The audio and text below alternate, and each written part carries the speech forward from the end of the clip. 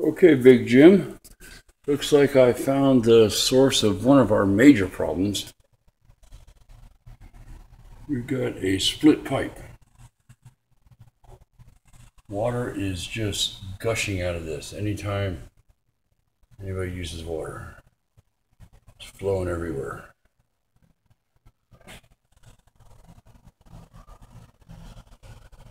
The part of the video that you saw earlier with the water running, when I just had a little bit of the drywall tore up, that's coming from this pipe.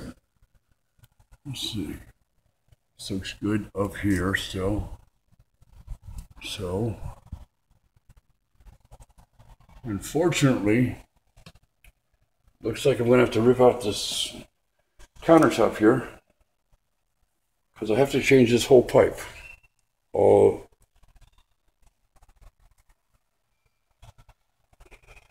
It goes down behind the counter.